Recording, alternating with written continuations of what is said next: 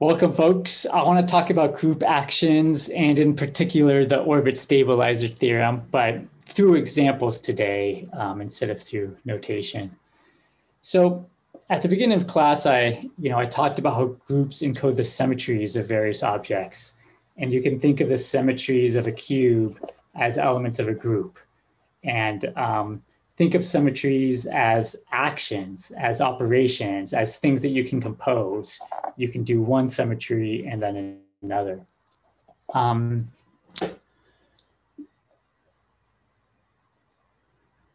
so when you have rotational symmetries, for example, you can multiply two rotations together, right? That's the whole point of a group. You know, you can multiply two elements in a group together and get another group element. Groups, however, also act on sets. Okay, so that's what group actions refer to. Instead of studying a group where you multiply group elements together, you see how a group acts on a set. And today we'll look at how groups act on, for example, the faces of a cube or the vertices of a cube, where, where the group that we'll look at is the rotational symmetries of the cube. Okay. Another thing that we'll talk about is how to count the size of symmetry groups. So you walk, you walk along, you find a symmetric object like this cube, and you ask yourself, huh, I wonder how many rotational symmetries this cube has. I'll teach you some of the machinery that allows you to answer that. What's the number of rotational symmetries of this cube? So while I'm going through this, you can make, make your own guess. How many rotational symmetries of the cube do you think there are? Okay, so let G be the group of rotational symmetries of this cube. What's its size? We're going to view each rotation in this rotational group of symmetries as a permutation. We're going to think of a rotation as permuting the six faces. So let's give names to these faces. Um, one, two, three. Faces four, five, and six are, are hidden right now. And let's say I have, I have a rotation. So maybe I look at this axis right here and I rotate around this axis and maybe I rotate 90 degrees. Okay. You'll notice that face three stays fixed, right? But face one moves over and gets mapped to where two used to be.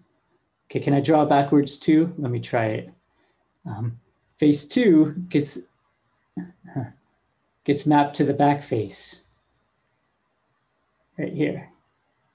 Okay. So I'm thinking of this rotation as the permutation that's fixing face three, but it's mapping face one onto face two, etc. Questions so far?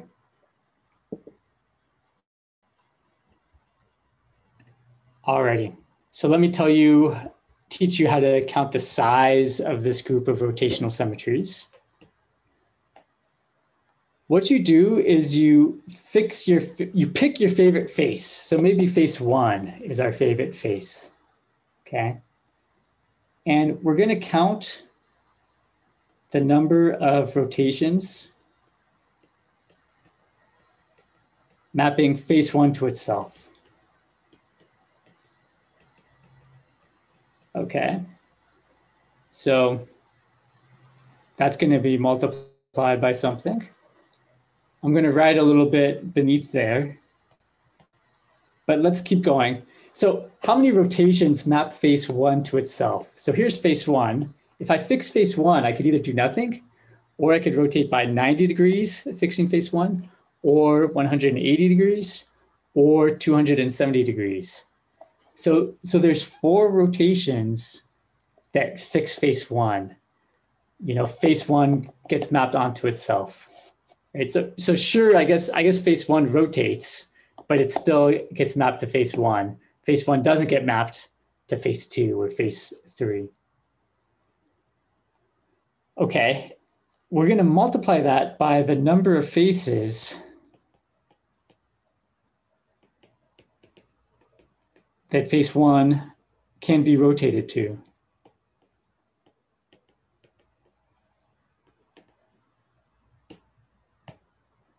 So how many different places could I rotate face one? Well, I could rotate face one onto any other face, right? There's six different faces, and I could rotate face one onto any of those six.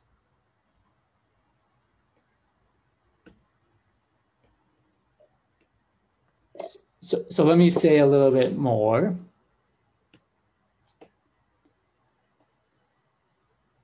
This is going to be um, um, a size of a subgroup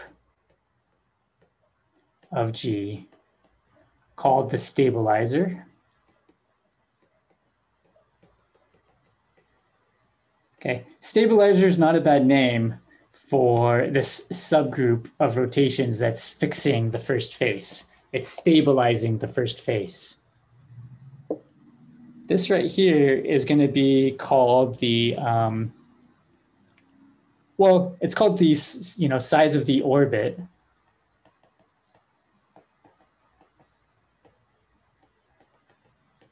of face one. So face one can get mapped in different places.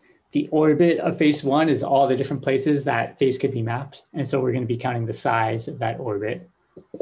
Another name for this is the number of cosets of which subgroup of this subgroup. Okay. So another way to think about this is using cosets, the number of cosets of the subgroup fixing face one. Okay, so I'm introducing language that's a little bit advanced, but we'll learn about it more either later today or on Wednesday. Um, but the point is we're trying to count the number of rotations of the cube. We fix a face. We say how many rotations fix that face well, four of them do. If I fix this front face, I have four possible rotations. And then I ask how many faces could this face get mapped onto? All six different faces. And so the answer is 24. Six times four is 24. This is only counting the size of the group of rotational symmetries of the cube. It turns out that through more work, you can figure out exactly what group of size 24 you have. This group is isomorphic to S4, permutations of four elements. You know, the size of S4 is 4 factorial, which is 4 times 3 times 2 times 1, or 24. Why does S4 come up? There's actually four diagonals going through this cube. Okay, so you could connect these two vertices with a diagonal, or these two vertices with a diagonal, or these two vertices with a diagonal, or these two vertices with a diagonal. I guess there's a diagonal edge going through every one of the four top vertices down to one of the bottom bottom vertices. Okay. And any rotation can be viewed as permuting those four diagonals. And any way you want to permute those four diagonals can be realized as a rotation it turns out. We're going to count this 24 in one other way. The perspective we're using here is that this group of rotations is acting on some set. Here our set was the six faces. Let's try counting this again where our set is instead the eight vertices and see if we get the same answer or not. So answer two, let G be the group of rotational symmetries of this cube. What is the size of this group? Let's now instead view each rotation as a permutation of the eight vertices. Maybe I'll call my vertices A, B, C, D, E, F, G, and H. Okay, so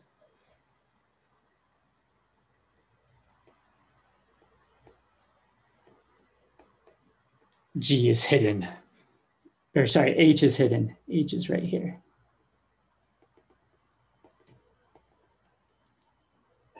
All right. So now when I rotate this cube, I think of mapping different vertices onto each other, right? So if I rotate again around this axis, and I rotate, say, 90 degrees, then maybe I'm mapping A onto B and B onto C and C onto D and D onto A. So I'm thinking of each rotation as a permutation of these eight vertices.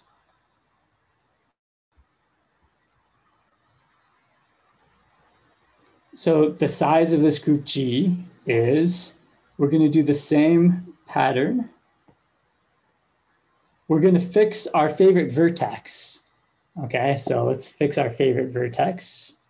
Um, let's sort of think of this vertex right here.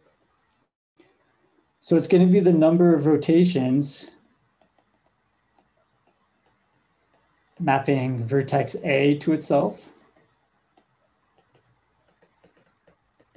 Let's call this vertex A. Okay, so how many rotations map vertex A to itself?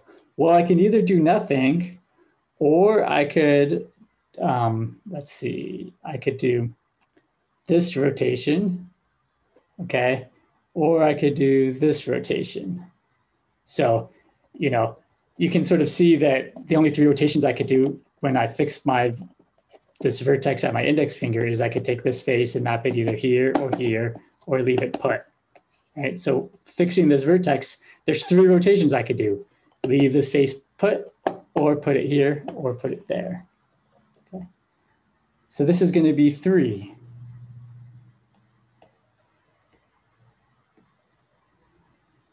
All right. So we fix a vertex and we say how many rotations are there that map that vertex to itself? Three. There's sort of three ways I could rotate around here. Let's let's get it. Okay, there we go. One, two, or do nothing.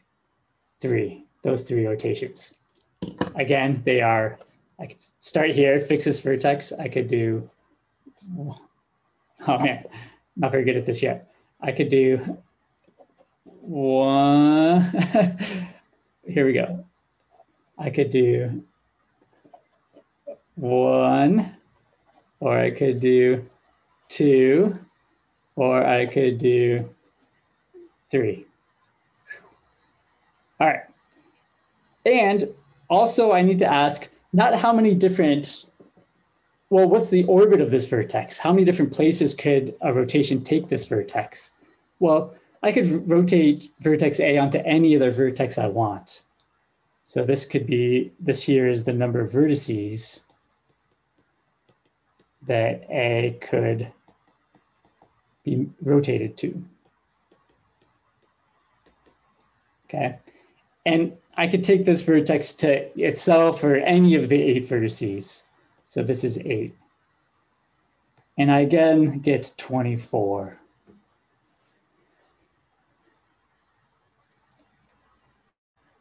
So answers one and two gave me the same answer, but they sliced it up differently. In answer one, I was thinking of my rotations as permuting faces. And I saw that I had 24 different rotations because um, if I fix a face, there's four rotations that map that face to itself. And there's six different faces that that face could get mapped onto. So I got six times four is 24. If I think of these rotations as permuting vertices instead, then there are three different rotations fixing a given vertex, and there's eight different places that vertex can get mapped. So I got the same size, 24, but this time realized as eight times three. All right, public questions?